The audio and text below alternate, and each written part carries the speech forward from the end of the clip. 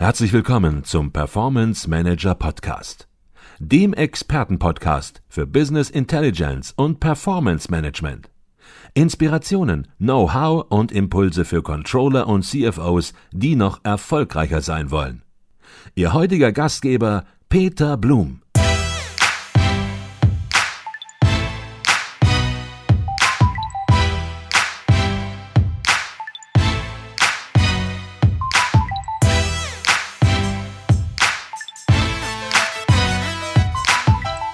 Jetzt haben Sie einen Beirat und dieser Beirat, äh, das ist natürlich auch ein Denkwandel bei Ihnen, glaube ich, auch persönlich, mhm. der stellt plötzlich unangenehme mhm. Fragen. Der stellt genau die Fragen, die Familienmitglieder, die Ihr Bruder, Ihre Schwester nicht stellen, die auch sich kein Mitarbeiter mhm. möglicherweise traut zu, mhm. zu stellen. Ähm, ja, weil, sie einfach, äh, weil er einfach Dinge auf den Prüfstand stellt. Gehen wir vielleicht äh, nochmal ein Schrittchen zurück. Also Sie führen jetzt in dritter Generation ähm, ein stark wachsendes und auch sich wandelndes Unternehmen. Das haben wir inzwischen verstanden. Und waren Sie eigentlich in der Vergangenheit, waren Sie da eigentlich immer gut informiert? Ähm, was Zahlen angeht, hatten Sie immer valide Zahlen jederzeit über Finanzen, über den Markt, über den Wettbewerb, über Kunden, über Produktionskosten? Oder ähm, ja, haben Sie, als Sie da noch gar keine Korrektiv hatten im Sinne von Beirat, der Sie vielleicht dazu zwingt, in diese Richtung noch stärker zu denken, ähm, auch manchmal ein bisschen, ich will nicht sagen im Blindflug, aber ja, manchmal auch Ihrem Bauchgefühl, um es mal so vielleicht zu formulieren, sind Sie dem häufiger auch gefolgt? Das ist eine sehr komplexe Fragestellung. Sie haben eben auch ein paar Dinge gestriffen, die absolut, glaube ich, alle richtig sind. Zum einen muss man sehen, Planung, Projektplanung, Businesspläne, wie man das nennen möchte, sind ja nur eine, ein simuliertes Abbild einer angenommenen Wirklichkeit. Mhm. Ab so kommt, weiß kein Mensch. Ich habe noch nie Pläne gesehen, die irgendwann so gekommen sind, wie man es mal geplant hat. Wenn man Glück hat, trifft man irgendwie den Korridor, aber ne, das sind ja nur Simulationen. Das muss man erstmal klar bekommen. Ich glaube, dass ein Großteil des Unternehmertums in der Schwäche wie in der Stärke an irgendeiner Stelle auch dem Bauchgefühl vertrauen muss. Mhm. Äh, wenn man sich anguckt, große Unternehmerpersönlichkeiten wie ein Steve Jobs, behaupte ich, der hat die Mehrheit seiner Entscheidung am Schreibtisch aus dem Instinkt heraus gefällt, hat gesagt, das Design ist es, so machen wir das, dieses und jenes. Das ist ein Großteil der Stärke des Unternehmertums. Mhm. Er kann aber genauso wie die Wand fahren. Mhm. So, und ich glaube, dass wir in der Vergangenheit ohne Beirat ähm, immer eine gesunde Mischung von beiden hatten. Und Sie haben auch genau den wunden Punkt angesprochen. Woran ich mich im Moment gewöhnen muss, ist, ähm, dass dort Leute sitzen, wo ich nicht einfach mich hinstellen kann und sagen kann, ey Leute, ich weiß, dass es funktioniert. Ich kann euch das jetzt nicht beweisen, ich kann das jetzt nicht rechnen, aber das müssen wir jetzt so machen. Ja. So. Also ich habe jetzt gerade so ein paar, ein paar Entscheidungen auch gefällt in Richtung Produktentwicklung, in der Kommunikation wo mein Instinkt mir nach 25 Jahren genau sagt, das ist das, was unsere Kunden brauchen. Ich kann das nur nicht beweisen, ich kann es nicht belegen, ich, mhm. ich habe keine Marktzahlen dafür, ich habe keinen, also klar kann ich das irgendwie schön rechnen, wenn einer mich dazu zwingen würde, mache ich da ein paar Zahlen fertig. Aber ich sage mal so aus meinem Gefühl heraus, wie ich sagen, das, das passt schon so. Wo natürlich dann ein Externer, der auch teilweise dann in der Haftung drin ist als Beirat, natürlich sagt, Moment mal, Moment mal, jetzt mal, jetzt, du willst so viel Geld ausgeben dafür, jetzt sag mal wozu, weshalb, warum oder so. Mhm, mhm, so, und ich glaube, in diesem Spannungsverhältnis müssen wir einen gemeinsamen Weg finden. Mhm. Den werden wir auch finden. Aber Sie haben es genau richtig formuliert. Also ich finde Daten super, super spannend. Ähm, und wir haben auch ein exzellentes Controlling, wir haben eine, eine Cockpit-Software, die über die ganze Holding jetzt inzwischen mhm. gespannt ist, wo ich jeden mit dem Handy mich einloggen kann und meine Zahlen angucken kann. Ich bin aber der festen Überzeugung, dass ich rein zahlenbasiert äh, die wirklich großen Dinge nicht bekommen kann, sondern da muss ich irgendwann mal ein Stück zurücktreten, eine Vision entwickeln, ganz neu denken oder so. Steve Jobs hat ja mal gesagt, Kunden wissen eh nicht, was sie wollen, bis ich es ihnen zeige. Mhm. Das klingt ein bisschen arrogant, ist aber ganz viel Wahres dran, mhm. weil weder ein Walkman noch ein iPod sind je richtig geplant worden, sondern da hat einer gesagt, ich glaube, da gibt es was, das machen mhm. wir jetzt. Mhm. Und man weiß das ja vom Walkman damals aus den 70ern, katastrophale Marktforschungsergebnisse. Alle Menschen haben gesagt, ich äh, Musik unterwegs hören in der Bahn, was für ein Quatsch, wer macht so einen Käse denn mhm. oder so. Und der damalige Sony-CEO hat dann gesagt und Inhaber hat gesagt, wir machen das, wir, wir, ziehen das Ding durch mit dem Walkman. Tragbarer Kassettenrekorder ist es und das Ding ist durch die Decke gegangen. Also ich glaube, in diesem Spannungsverhältnis werden wir immer leben. Es ist, mhm. äh, glaube ich, eine große Schwäche von Mittelständlern, wenn sie keine Zahlen haben und die ignorieren. Mhm. Es ist aber auch genauso gut eine Schwäche, sich nur in den Zahlen zu verlieren, ohne mal ein Stück Abstand zu gewinnen und zu sagen, Moment, wo stehen wir hier eigentlich strategisch? Wo, wo entwickelt sich der Markt hin? So ein Gefühl dafür zu kriegen, was ist da draußen gerade los? Und mhm. das können sie nicht in Zahlen abbilden. Mhm. Da müssen sie raus in den Markt. Der Brandmeier hat, glaube ich, mal so gesagt, Marketing ist auf einem Ochsen äh, durchs Land reiten und zu riechen, wie, wie es da draußen riecht und wie es mhm. schmeckt und wie die Luft ist und wie der Wind weht. Mhm. Da ist viel Wahres dran. Ja. Mhm. gibt ja gerade auch eine, eine, Diskussion, die sagt, Controlling muss Spielraum lassen, muss Spielgeld vielleicht auch mhm. ein bisschen bereitstellen, weil nur wenn Freiraum ist, entwickeln sich neue mhm. Ideen. Aber auf der anderen Seite, nur wer seine Zahlen, wer sein Controlling, wer sein Unternehmen auch was die harten Daten angeht, im Griff hat, sauber im Griff hat, kann natürlich beurteilen, was es spiegelt, was kann er ja. entsprechend machen, äh, welchen Rahmen hat er. Mhm. Welche Rolle spielt das Controlling bei Ihnen im Unternehmen und für Sie auch persönlich? Sie sagen, Sie haben ein exzellentes Controlling. Es gibt, glaube ich, sogar eine eigene Firma, ja, eine eigene ja. Rechtsform, Thomas äh, Consulting. Consulting. Mhm. Was ist die Aufgabe dieser, dieser ähm, ja, doch sehr Controlling-orientierten mhm. äh, mhm. Firma? Also wir haben die Thomas Consulting, ist eine reine interne Firma, ja. äh, quasi eine Art Dienstleistungsfirma für alle unsere Firmen, ob es Thomas Hilfen ist, Latoflex ist, wir haben ja auch eine Ingenieurfirma, die Maschinenbau betreibt und Fasertechnik verkauft. So, und wir haben irgendwann mal gesagt, warum soll jede Firma alleine Personalwesen, Controlling, Liquiditätsplan, was auch alleine machen? Das können wir doch gut in, einen, in einer Firma zusammenfassen. Und wir haben dann äh, ein Umlagesystem entwickelt, so pro Mitarbeiter, Umsatzgröße, was auch immer. Und dadurch wird die Thomas Consulting finanziert. Die Thomas Consulting ist, ähm, wie gesagt, unsere interne Beratungsfirma. Wir fassen jetzt gerade natürlich durch die Gründung der Holding alle unsere Liquidität, die Reserven. Wir können zwischen den Firmen sehr, sehr gut die Liquiditätsplanung hin und her bekommen, je nachdem, wo wir gerade Projekte laufen haben. Ähm, ich glaube, dass das dass wir damit versuchen, so ein bisschen die größte Schwäche der Mittelständler auszugleichen, nämlich viele Mittelständler, gerade in Deutschland, haben sehr dominante Unternehmerpersönlichkeiten, die, wenn sie gut sind, eine Firma zum Weltmarktführer machen können. Haribo oder wen auch immer. Nehmen Sie irgendeinen, nehmen Sie den alten Max Grundig oder so. Da sehen Sie nämlich auch, was passiert, wenn er nicht mehr da ist. So, die aus dem Instinkt heraus, die sagen, lass, die, die, ich, ich schwöre, so, so ein Haribo-Typ, der kannte wahrscheinlich seine ganzen Gummibärchenfabrik so auswendig, der hätte auf dem Bierdeckel mal eben eine Kalkulation rundrechnen können und all die sagen können, ob, ob, die, ob das reicht oder nicht reicht. Mhm. So, das ist aber gleichzeitig Schwäche, weil, weil zum einen für, verführt es zu einem, zu einem Ludwig XIV. Gehabe, nach dem lass mich bloß mit den Details zufrieden, das klappt schon alles, wir kriegen das in den Griff. Ja. Man sieht ja bei Schlecker, was da so bei rauskommt dann manchmal. Ja. Ähm, und gleichzeitig glaube ich allerdings müssen wir immer, und Sie haben eben von, von Luft gesprochen im Controlling oder Raum für Spielgeld, ich glaube, wir brauchen immer noch den Unternehmer, der ein Risiko eingeht, der zeitweise auch sagt, Controller, ihr habt echt recht mit euren Zahlen, mhm. aber irgendwas habe ich das Gefühl, wir sollten es machen. Lass uns gucken, wie wir ein limitiertes Risiko eingehen. Lass uns gucken, dass wir Spielgeld einsetzen. Wir bauen beispielsweise, um ein konkretes Beispiel zu nennen, im Moment gerade einen, einen E-Commerce-Bereich auf. Mhm. Ich habe keine Ahnung, was da rauskommt. Sag ich ganz ehrlich, das ist ein völliger Blindflug. Jetzt, jetzt, komm, jetzt sollten wir für nächstes Jahr Planungen abgeben. ich habe mir gedacht, ach du lieber Himmel, ich habe gar keine Ahnung. Niemand hat von uns je Latoflex irgendwie kommuniziert nur über. Jetzt haben wir in Schweden so ein Testprojekt, so ein E-Commerce-Projekt in Schweden. Anneliese äh, ist, so heißt das Projekt. Das ist Matratze haben wir extra gebaut, so für diesen ganzen E-Commerce-Bereich. Ich habe keine Ahnung. Wir haben, wir haben überraschend festgestellt, wie schwierig das doch ist, Leute auf diese Seite zu bekommen und so weiter. Mhm. So, und ich weiß genau, da werden wir jetzt ein paar hunderttausend Euro in die Hand nehmen müssen. Mhm. Wenn es erfolgreich wird, wird es wahrscheinlich das bestinvestierteste Geld sein. Mhm. Wenn es nicht erfolgreich ist, wird es uns nicht umbringen. Das ist natürlich dann super ärgerlich. Aber ich glaube, wir kommen im Moment mit Controlling-Werkzeugen nicht näher ran, außer dass wir von allen Seiten rangucken und sagen, okay, wie viel Budget haben wir hier? Was räumen wir uns ein? Und jetzt müssen wir los.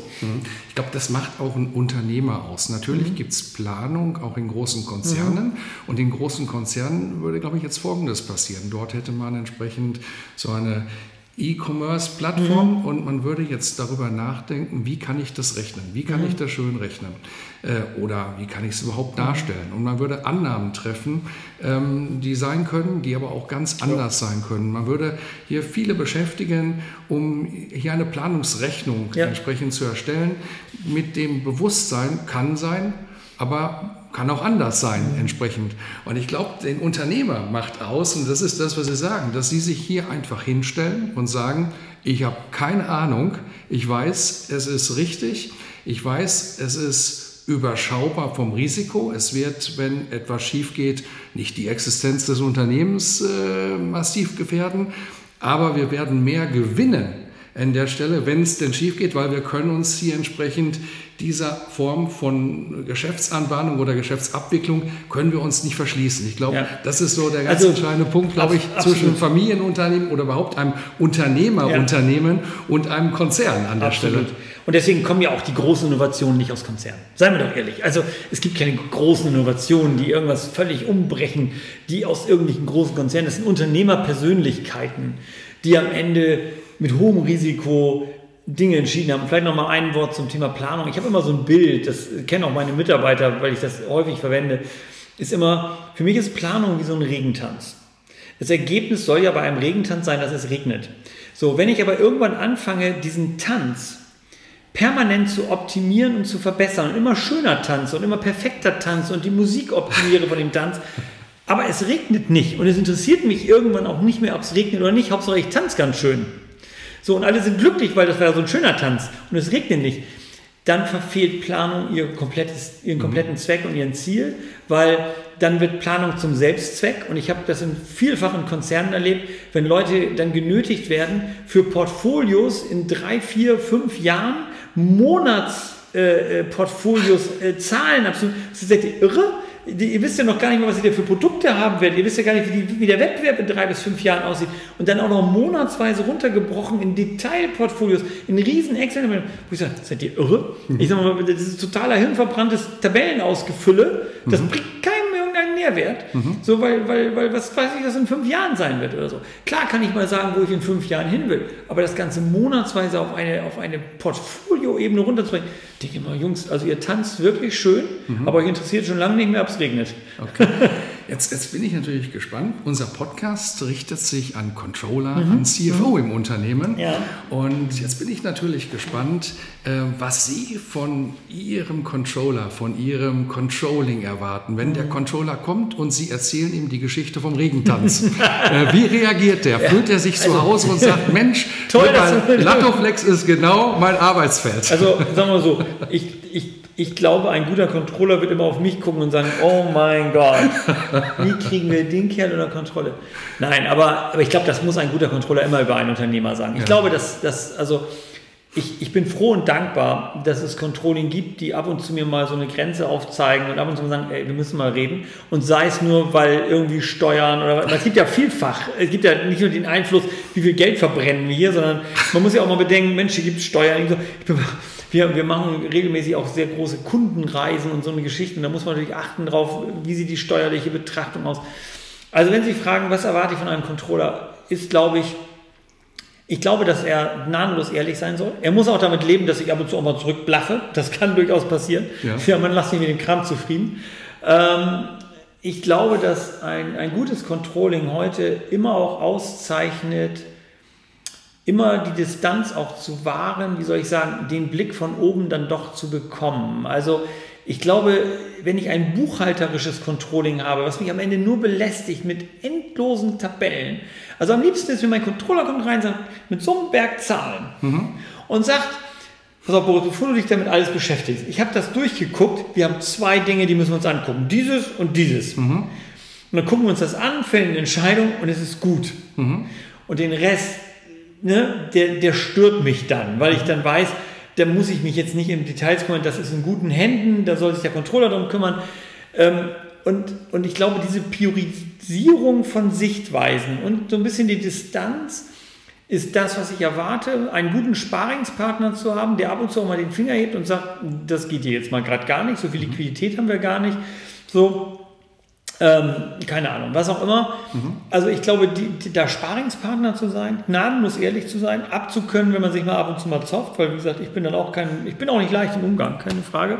Ich bin immer irgendwann lass mich bloß zufrieden mit dem Kram. Mhm. Weil ich glaube, gutes Unternehmertum muss irgendwann an irgendeiner Stelle auch mal den Tisch freiräumen und sagen, pass mal auf, ihr könnt mich jetzt mal alle, wir, wir entscheiden das jetzt. Mhm, mh. So, und ich glaube, in diesem Spannungsverhältnis muss ein gutes Controlling leben können. Mhm. Und dann ist es immens wichtig für den Mittelstand und gerade für Familienunternehmen ein starkes Controlling zu haben. Mhm.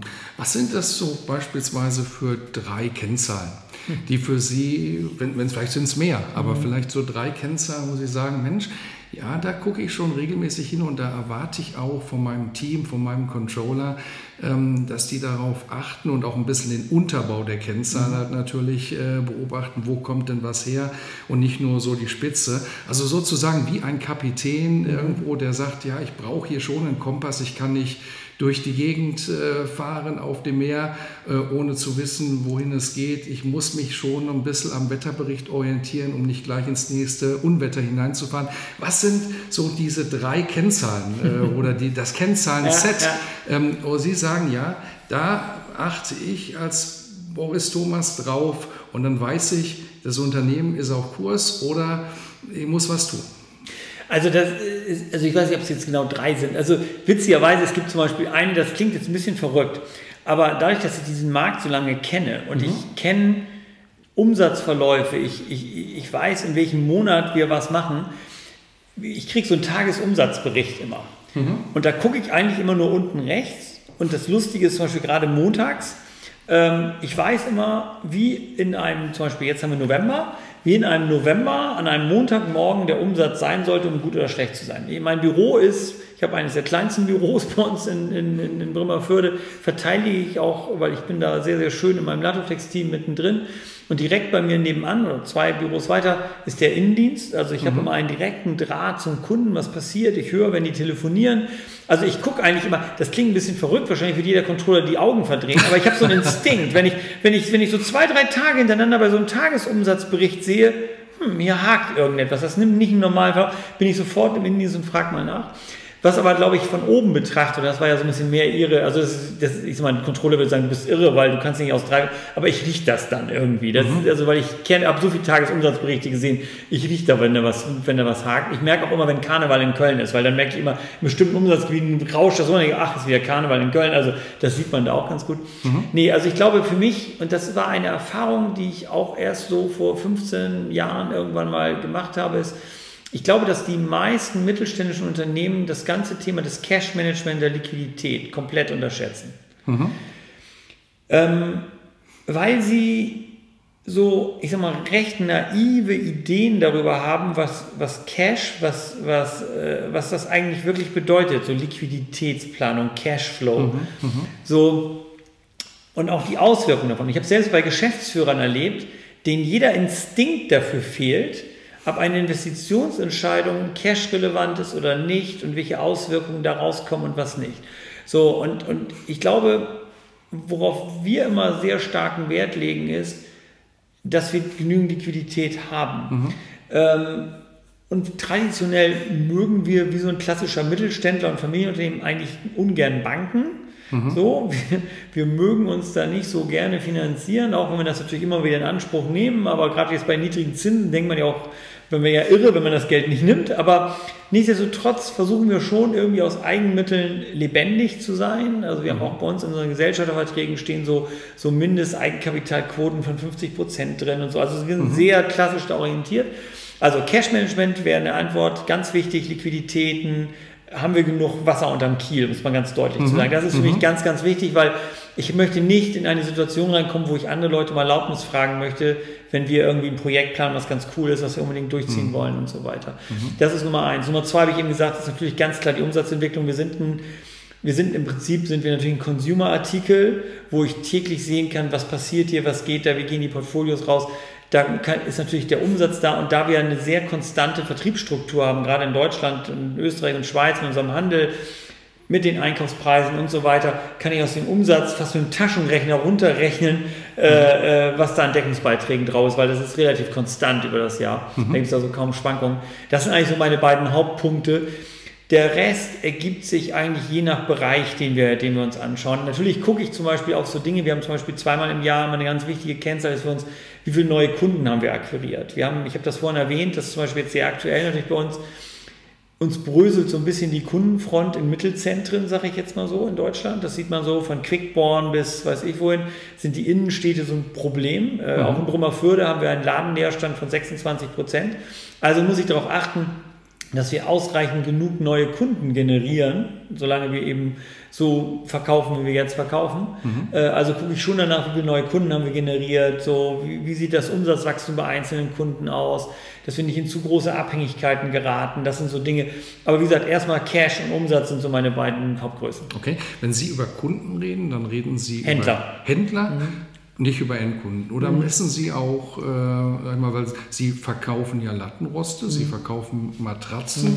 Mhm. Äh, das heißt, hier ist ja durchaus auch eine Zuordnung entsprechend möglich. Sie mhm. sind ja nicht im Massenproduktionsgeschäft nee. unterwegs. Ist das für Sie auch ein Thema, wo Sie sagen, die, da breche ich den Kunden runter? Oder sagen Sie, nein, ich habe da einen Händler und äh, der steht für so und so viel Menge Lattoflex? Also vor, vor zehn Jahren, vor zehn Jahren hätte ich Ihnen gesagt, ja, alles andere interessiert mich nicht, wir sind B2B, wir haben da draußen einen Händler und dem verkaufen wir Latoflex und dann gucken wir, dass, dass wir den so gut betüdeln, schulen, motivieren, dass der Spaß hat, Latoflex auch dem Kunden zu bekommen.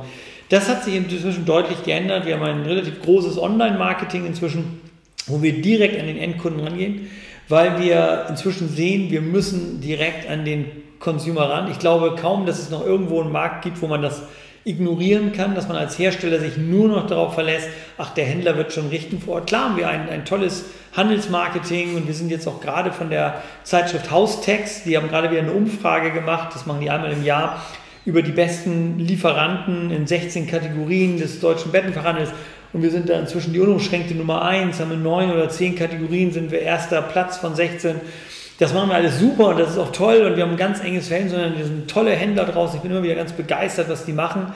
Aber ich glaube, wir können den, den User, den Endkunden nicht ignorieren. Wir müssen sehen, dass wir ihn abholen da, wo er ist. Das ist im Netz, das ist auf Facebook. Mhm. Wir bieten einen Rückenkurs an, wir bieten PDFs an mit Informationen zum Thema sieben Gründe, warum das Bett die Ursache ihrer Rückenschmerzen sein kann. Also wir versuchen auf allen möglichen Ebenen äh, Menschen zu aktivieren und sie an Laptopflex zu interessieren. Mhm. Und dass der Kunde bei Ihnen im Zentrum steht, ich glaube, das erkennt man auch daran, dass Sie ich weiß nicht, Sie werden es besser wissen, aber als einziger Anbieter auch dem Endkunden anbieten, eine Matratze, ein Lattenrostsystem zu testen. Und wer nicht besser äh, schläft, das heißt, äh, die Anforderungen, die er an dieses System stellt, nicht erfüllt werden, dann bieten Sie ihm an, dass er kostenlos es zurückgeben kann. Ist das einzigartig in der Weiß, Branche? Ja, sagen wir so, inzwischen haben einige andere nachgezogen. Es gibt ja auch gerade im Online-Bereich, also gerade im Online-Bereich, weil da ja. natürlich der Kunde überhaupt nicht testen kann. Ja. Ich glaube, da ist das eher so eine vertrauensbildende Maßnahme, sonst bestelle ich keine Matratze online, weil ich weiß ja gar nicht, wie die sich anfühlt. Aber da haben wir natürlich auch ein ganz anderes Preissegment. Ganz anderes Preissegment. Ja. Was wir natürlich haben, ist eins, und das ist schon vielleicht doch eine gewisse Einmaligkeit. Wir haben zweimal ähm, Deutschlands größten Schlaftest durchgeführt. Wir haben 250 Testschläfer äh, auf Lattenfleck schlafen lassen. Die haben wir, da haben wir also 40, 60.000 Bewerbungen bekommen aus ganz Deutschland. Wir haben also gesagt, wer möchte Testschläfer sein? Und wir wurden überflutet, überflutet mit Bewerbungen. Die Leute mussten sich also bewerben mit einem Fragebogen. Dann haben wir die wissenschaftlich ausgewertet. Das hat damals der Professor Dr. Zuley gemacht und der Dr. Schmidt, die uns da betreut haben. Und dann haben wir gesagt, so, wir wollen soziologisch von alt bis jung, von, ne, von, mhm. von schwer bis leicht, von groß und klein und alles durcheinander. So, haben wir gesagt, so, und jetzt machen wir 250, hat noch nie jemand vorher gemacht und die dürfen das behalten, wenn sie uns regelmäßig Fragebögen ausfüllen, wie schlafen sie, wo haben sie vorher drauf geschlafen, wie schlafen sie jetzt, was hat sich verbessert. So, und das Ergebnis war eben für uns auch natürlich begeisternd. Äh, zweimal durchgeführt, beides Mal fast mit identischem Ergebnis. 93 bzw. 96 Prozent aller Kunden haben weniger oder keine Rückenschmerzen nach vier Wochen auf Latoflex im Vergleich zu ihrer alten Ruhestätte mhm. im Sinne von Matratze, was immer sie dann vorher hatten. Mhm. So, und da haben wir gesagt, naja gut, also wenn man sagt 96 Prozent, äh, wir zeigen auch die Statistik immer, wir veröffentlichen diese Ergebnisse auch, kann man auch bei uns einsehen da auf der Internetseite. Wir haben 96 Prozent verbessert. Dann sagen wir, pass auf, du darfst vier Wochen auf Latoflex schlafen. Und ähm, wenn du nach vier Wochen feststellst, dass du ausnahmsweise zu den 4% gehörst, mhm. wo sich nichts verbessert, dann nimm es zurück. Mhm. So. die Wahrscheinlichkeit, dass du zu den 96 Prozent gehörst, ist noch ein Vielfaches höher. Mhm. So, und das ist unser, unser Deal, den wir, den wir anbieten. Und das ist die Idee im Wissen, dass es funktioniert ja, entsprechend. Absolut dann entsprechend dieses Angebot ähm, auch zu machen. Also vielleicht, um das nochmal zu verstärken auch, also war natürlich, haben natürlich auch viele gesagt, oh, nachher geben dann die 4%. So, wir machen natürlich dann relativ viel, wenn jemand sagt, Mensch, also so ganz bin ich noch nicht zufrieden, aber kann ich, vielleicht noch eine weichere Matratze mal ausprobieren oder eine härtere. Mhm. Also im Moment haben wir eine Rücknahmequote so von, ich sag mal, 1000 Kunden nehmen wir zwei bis drei zurück. Okay. Das ist unsere Quote. Jetzt haben wir gesagt, Sie sind im Premium-Segment, im mhm. Premium-Premium-Segment möglicherweise sogar. Ich brauche jetzt mal eine Zahl. Mhm. Ähm, was heißt das? Also Sie hatten gesagt, ich kann in Matratzen Concord gehen und da kann ich äh, ja, ich weiß es jetzt gar nicht, aber für ein paar 100-Euro-Scheine mhm. entsprechend äh, bekomme ich da eine Matratze. Ob Sie mhm. das als Matratze bezeichnen würden, das mag noch dahingestellt ja, sein. Klar. Das ist vielleicht auch eine Matratze, Sie hatten gesagt, für ein anderes Alter. Ähm, wenn man keine Rückenprobleme mhm. hat, dann schläft man möglicherweise auch auf einer Isomatte entsprechend gut. Äh, das, das hat ja. mit Matratze nichts zu tun. Das haben Sie vielleicht auch äh, vor, vor 30 Jahren ja. äh, noch gemacht, aber irgendwann, da steigen die Anforderungen mhm. entsprechend. Ähm, ich brauche mal eine Zahl. Mhm. Das heißt, wenn ich heute in, in, in, zu einem Fachhändler gehe und sage, ich möchte ganz gerne äh, das Beste haben, möchte gerne Latoflex-Produkte haben, Latoflex Lattenrost mhm. haben. Ähm, was muss ich da in die Hand nehmen von bis? Mhm. Also, um, um, Ihre Frage komplett zu beantworten, also der Marktdurchschnitt in Deutschland, und fangen wir damit mal an. Also eine durchschnittliche Matratze in Deutschland kostet 220 Euro. Okay. Das ist auch relativ konstant über die Jahre, das ist so der Durchschnittspreis. Wenn Sie so ein szenisches Bettenlager, Concord nehmen, die liegen alle so in ihren Durchschnittspreislagen, was sie so verkaufen, in der Range, vielleicht ein kleines Stück höher, also 220 Euro. Ähm, Latoflex startet irgendwo zwischen 600 und 700 Euro. Mhm. Unsere Durchschnitts, äh, Durchschnittserlöse für, für eine Matratze Latoflex liegen aber deutlich über 1000 Euro, weil wir schon eher einen Kunden haben, der sagt, naja, wenn schon, denn schon wieder was Richtiges haben. Mhm. Dann haben Sie die Unterfederung, das ist ja nur die Matratze erstmal. Mhm. Wenn Sie dann die Federung dazu kaufen von uns, die startet auch etwa so bei 600 Euro und geht dann hoch bis zum 5-Motorer, das sind fünf Motoren. Mhm. Äh, da können Sie dann mit einer, mit einer Handy-App, können Sie dann den Motorrahmen verstellen, da gibt es eine Heizung für, da gibt es weiß ich was, alles Mögliche für. So, da liegen Sie dann eher bei 4000 Euro. Jetzt können Sie das fürs Doppelbett mal hochrechnen. Sie haben also zwei Unterfederungen, fünf Motorer sind 8000 Euro zweimal eine Matratze für knapp über 1000 Euro, dann sind sie so bei 11.000 Euro, sage ich jetzt mal so. Mhm. Das ist aber dann nur das Innenleben eines Doppelbettes. Das heißt, das ist nicht das Bett. Wir produzieren mhm. ja nur mhm. das, was da reinkommt, sozusagen. Mhm. Mhm. Das heißt, wenn Sie dann für 2.000, 3.000 Euro noch ein Bett kaufen, dann liegen Sie in der Spitze bei Latoflex bei 12.000. Das verkaufen wir nicht jeden Tag. Aber ähm, so, dass Sie mal so ein Gefühl für haben, das geht so bis da hoch. Und wir liegen so in den Durchschnittserlösen für so ein Set, wenn Sie das so zusammennehmen, ähm, liegen sie also im Marktdurchschnitt vielleicht bei 400 Euro Unterfederung und, mhm. und Matratze mhm. und so bei Latoflex liegen sie so bei 1800 Euro. Also mhm. sehen Sie schon, mhm. wir sind also eher Porsche als Mercedes so in den, um das mal im, im Autobereich so zur Relation zu geben. Okay, aber dann hat jemand, der sich dafür entscheidet, natürlich auch ein hervorragendes System und mhm. ja, wenn es hilft, Rückenschmerzen entsprechend zu beseitigen, schmerzfrei zu schlafen, und ich glaube, das unterschätzt, viele unterschätzen das natürlich auch, ähm, die Zeit, die man auf einer Matratze verbringt, wenn man sich das mal so ein bisschen vergegenwärtigt, die ist ja schon erheblich, ähm, erhebliche Lebenszeit.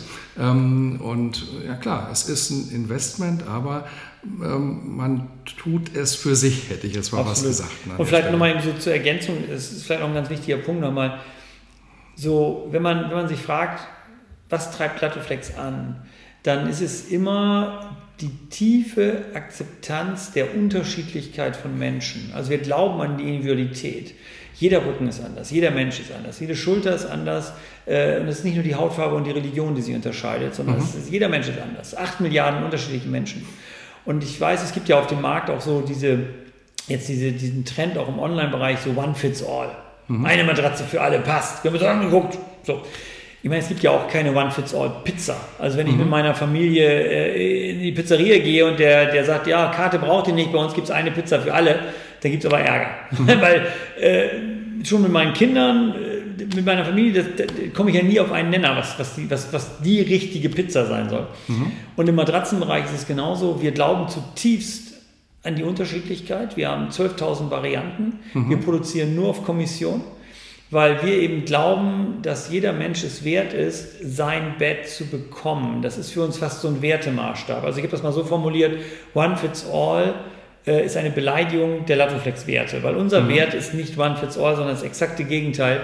Wir glauben an die Unterschiedlichkeit von Menschen. Und ich glaube, das ist nochmal so ein ganz wichtiger Punkt, der uns vielleicht auch so ein bisschen unterscheidet vom Rest vom Markt. Also weil wir wirklich wir wollen, dass jeder einzelne Mensch sein Bett bekommt, seinen Weg geht, seine Lösung findet. Das ist so unser Anspruch. Okay.